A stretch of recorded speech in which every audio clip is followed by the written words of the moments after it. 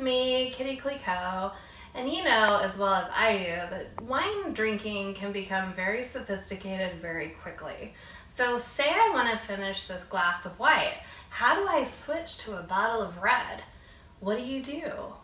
Well, without looking foolish, you would have to have some kind of palate cleanser. I use these wonderful saltines. They're the quickest, easiest way that I know, and also the way Kurt Cobain cleansed his palate because he used to say, Polly want a cracker.